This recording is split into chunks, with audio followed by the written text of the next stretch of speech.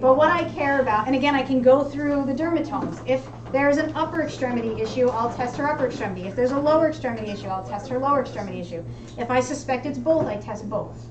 All right, and I always explain the test what is sharp, what is dull. You want to depress the skin on this one, but you do not want to pierce the skin. If there's blood, you have gone too far. All right, so with a yeah, so with a safety pin, this one is not as sharp as a safety pin. If you use a safety pin, you can actually take a piece of, um, of sandpaper, sand down the edge ever so slightly just to dull it. So with these, they have not been dulled. Please be careful.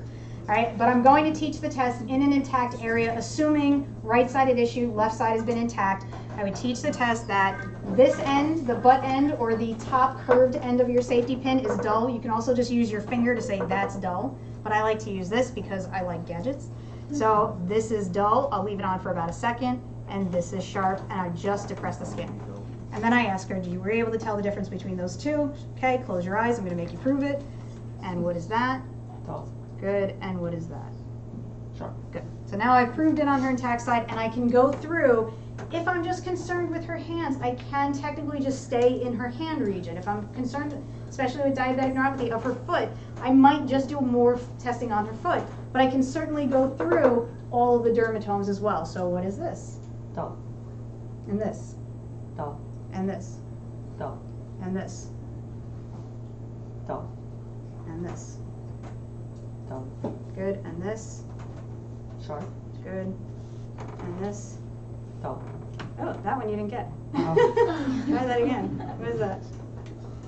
Sharp. Yeah, that's you got Doesn't a little. feel sharp. Yeah, you get a little bit both of those uh, dermatomes. And if I wanted to do her feet, I'm just gonna pull Oh, yeah. just a little bit there. So if I want to do, if I want to just cover the foot and not go by dermatomes, I can just go. This everyone, everyone who's ticklish hates this, but what's that? Doll. No. What's that? Dull. No. What's that? Dull. Good. That one you got. Is that Sharp. good? Dull. Nope. Sharp. Yes, but I think you're guessing. Um, beware, beware calluses on the feet. That's what I was Okay. going to ask. If there's if there's a particular, that's why I was doing it. If there's a palm and the particular, sole your foot is Right. thick. so the palm, it, but it still should be able to detect it. Okay. Um, yeah, no, the, the, yeah, I did there, but if I do it on your palm, if you have like rough palms or calluses, it's really hard. So where you're testing on the feet, you know, if, if there's a callus, you want to go to the to the more like the borders of the callus because it'll distribute the force a little. But for her, I was right in the center of her arch, and she wasn't te- she wasn't feeling it. So What you get a little. using for little- dull? Are you not pressing it out, or like, what are you using for the dull? Uh, I push just enough to depress the skin. That's that's my. The other end of the pin. Oh yeah, the top part of the pin, or uh, if you have one, the thing that I have, it's just the, the blunt end of it. Okay, that's the dull. Yeah, yeah, that's the dull, or your finger pressing on them could be dull. So that's that's the sharp dull. Sometimes it's a screen, sometimes it isn't. We all just accept that.